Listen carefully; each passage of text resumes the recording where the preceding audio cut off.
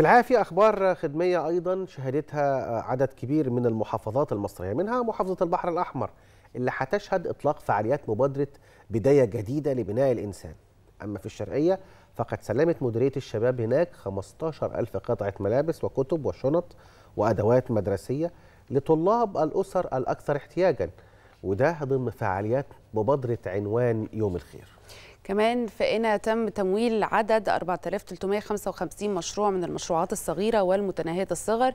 أما في كفر الشيخ فتم فصل الكهرباء عن ثلاث مناطق في بيلة للصيانة. تفاصيل وأخبار أكتر كمان من محافظات أخرى هنعرفها مع حضراتكم في سياق هذا التقرير.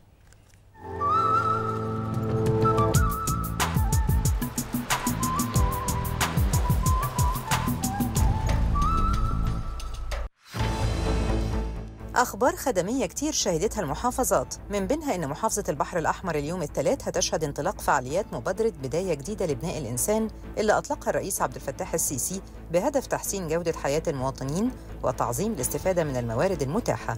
ومن المقرر أن تبدأ فعاليات المبادرة في الرابعة عصراً باصطفاف السيارات المشاركة على أرض الواقع لإطلاق مبادرة بداية. في الشرقية سلمت مديرية الشباب 15 ألف قطعة ملابس وكتب وشنط وأدوات مدرسية لطلاب الأسر الأكثر احتياجاً ضمن فعاليات مبادرة يوم الخير اللي أطلقتها وزارة الشباب لرفع العبء والمعاناة عن كاهل الأسر الأكثر احتياجاً. أكد جهاز تنمية المشروعات الصغيرة والمتوسطة ومتناهية الصغر بمحافظة قنا أنه منذ بداية العام الجاري تم تمويل 4355 مشروع من المشروعات الصغيرة والمتناهية الصغر لشباب الخريجين من أبناء المحافظة. وده بإجمالي مبلغ 241 مليون 121 ألف 813 جنيه ووفرت 791 فرصة عمل للشباب الخريجين من أبناء المحافظة. أعلنت هندسة كهرباء بيلا بمحافظة كفر الشيخ فصل التيار الكهربائي بسبب خروج لوحة توزيع كهرباء بيلا القديمة اليوم الثلاث اعتبارا من الساعة 9 صباحا وحتى الساعة 1 ظهرا لأعمال الصيانة الطارئة بالمغذي المشار إليه. والمناطق والأحياء المتأثرة بفصل التيار الكهربائي هي شارع الفلوجة منطقة مسجد التقوى جزء من حي أبو رخا التابع لشارع الفلوجة وده بهدف رفع كفاءة الخدمة.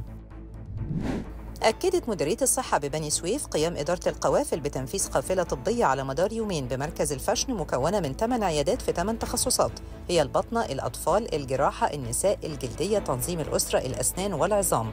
وتم الكشف على 1127 مريض وصرف العلاج ليهم بالمجان.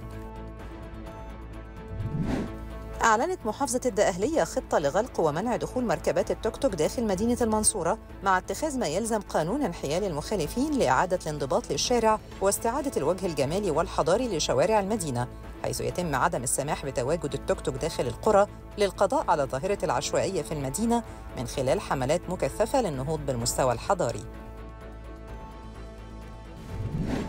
أعلنت شركة مياه الشرب والصرف الصحي بمحافظة المنوفية قطع المياه اليوم الثلاث عن 22 قرية من قرى مراكز المحافظة لمدة أربع ساعات بداية من الساعة العاشرة صباحاً حتى الساعة الثانية ظهراً بسبب عمليات غسيل وتطهير الشبكات ومحطات المياه طبقاً للخطة الشهرية.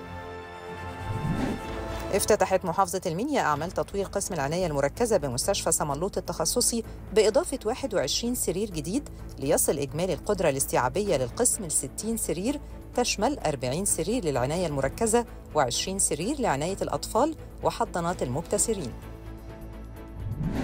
شهدت محافظة الأقصر ختام فعاليات ملتقى التوظيف اللي استمر على مدار يومين وقدم ووفر أكثر من 2000 فرصة عمل حقيقية داخل المحافظة وخارجها للشباب والفتيات من أبناء المحافظة وده ضمن المبادرة الرئاسية بداية جديدة لبناء الإنسان.